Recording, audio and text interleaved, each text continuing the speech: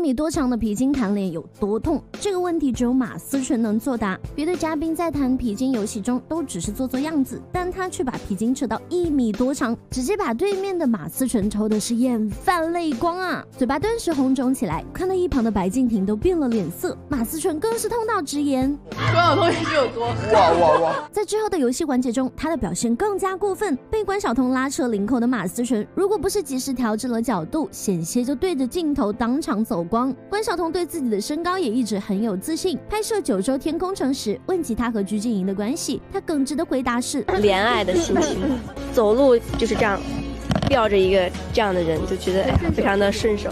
隐隐有嘲笑四千年太矮的意思。普通人之间开开玩笑或许没啥，但身高是四千年一直以来的痛点。但向来注重个人形象的他，也只是在一旁尴尬陪笑。这并非是因为四千年不够硬气。要知道，一个分析他高颅顶发型的教程，都能被他以侵犯名誉权为由告上法庭，能让金马影后与四千年第一美女都敢怒不敢言的，还是关晓彤那金圈格格的身份。会有这么个外号，不是因为关姓曾是满族的皇姓，而是因为他的爷爷关。关学增有大来头。据悉，关学增与老舍和六龄童都私交甚笃，还担任过中国曲艺家协会理事。受爷爷的影响，九岁的关晓彤就参演了由陈凯歌执导的《无极》。虽然该片褒贬不一，但却成功的将他推上了星途。此后更是凭借和孙红雷搭档的好先生，一举斩获了国民闺女的爱称。就连张艺谋都在给他的生日祝福中笑谈自己也是关家人。但同样的出身，不同的命运，明明一脉相传，他的姐姐却似乎没有那么好运。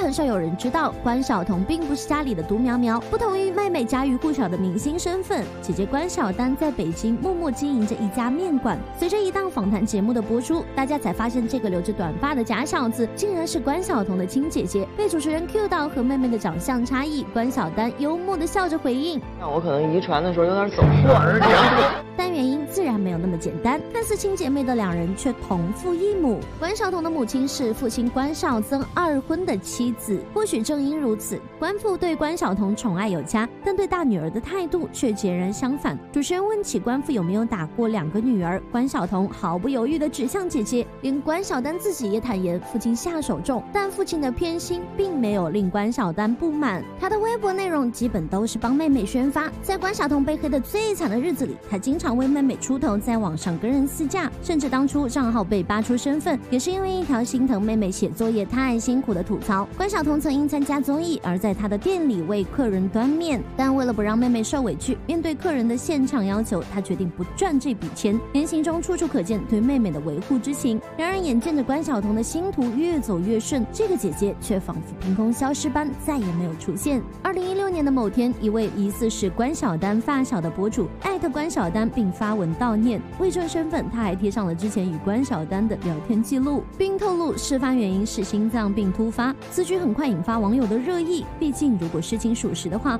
为什么关晓彤和关父的社交动态上却只字未提？据发小提供的日期来看，事发后的关父还在为小女儿宣传新剧，语气中满怀骄傲，而关晓彤的博文风格也一如既往的欢快，甚至还去国外度了个假。如果只是内心沉痛不愿公开，倒也可以理解啦。但这种若无其事的态度却耐人寻味。何况在之后的采访中，关父更是堂而皇之的将关晓彤称为独生女，关晓彤也只谈及一家三口，对姐姐闭口不谈。不管事情是否属实，他们都不曾为了大女儿的名誉而出面澄清。但如此偏爱关晓彤的关父，却让女儿的事业抹上了一个黑点。前有陈赫的贤合庄，后有关晓彤的奶茶店。明星做生意本是稳赚不赔，怎么偏到了他这儿却翻了车？四月二十号，关晓彤父女先后冲上了热搜，但这一次既不是因为她的学霸人设。也不是因为他和鹿晗的恋情，了解过后，我们才知道是老关家的产业出了问题。关晓彤自创的奶茶品牌因严重违规被处以五